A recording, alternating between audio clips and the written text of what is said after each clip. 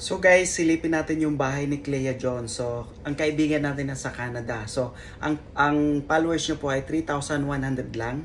Pero monetize na po siya sa ads on Reels, okay? Then, uh, recently, nung April, sumahod na po siya ng $144.45 or katumbas sa peso, 8,105.74 pesos. Okay? Mas malaki, 'di ba? Kahit papano ang ginagawa niya, guys, is uh, random content. So, silipin natin kung ano yung mga random content na ginagawa niya.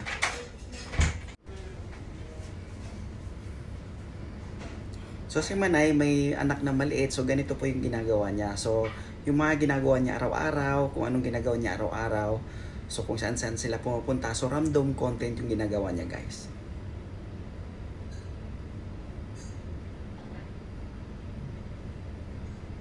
Di ba? Si Baby Jassy. mga bote ng ano, anak niya, si Jassy.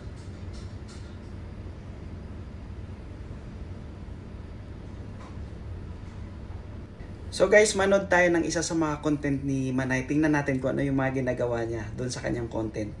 At panoorin niyo din. Dalawa na hindi na ginagamit kasi ayaw niya nung matigas. So ito ayaw niya din dati, kinakagat-gat lang niya hanggang nasanay na siya. So ito yung bago kong bili, malaki na kasi malaki na siya. So ang gagawin ko ay lalagay ko dito yung gatas niya.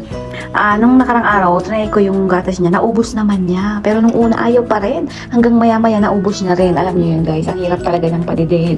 So guys, ito nga pala yung gatas niya. Infamil ano, ready to drink siya. So ito yung binibigay sa ospital dito kapag Galing ni Manay mag-explain. Galing. So isa dapat sa mga ganyan. Oh, pinapaliwanag yung kung ano yung ginagawa mo, ipapaliwanag mo. So dapat ganun, hindi lang basta mag-upload, i-explain mo kung ano meron doon sa video mo guys. siya.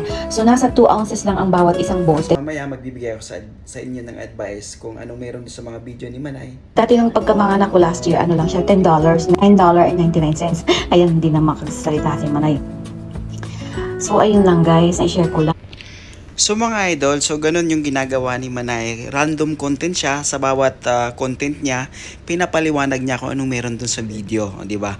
Kahit random content ka, wala kang one niche na tinatawag, ay pwede ka pa rin kumita as long as na ah, maganda yung content mo, good quality at ipinapaliwanag mo kung anong meron dun sa iyong video.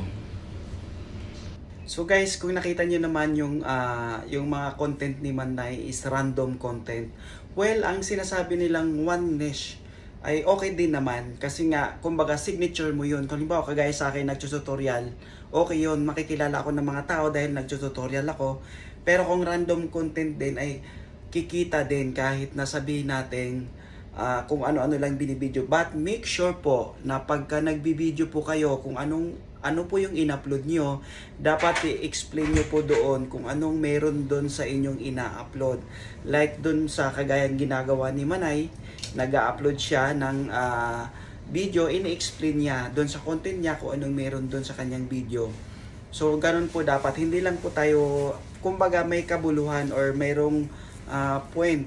Kumbaga meron tayong ah, ini-explain doon sa ating video kung ano meron doon sa video. Kasi, pangit din naman pag nag-upload lang tayo na basta ng reels, hindi natin ina-explain kung anong meron doon. So, hindi po ah, matutuwa yung mga tao or hindi pag-aksayan ng mga tao panoorin yung video natin kung wala tayong ini-explain kung anong meron sa video at kung ano yung na, natutunan nila doon sa video at kung anong meron na pwede nilang panoorin doon sa video. Sige, Ah, maraming salamat po. Sana may natutunan po kayo. Papalo na lang po ako for more updates. So, thank you.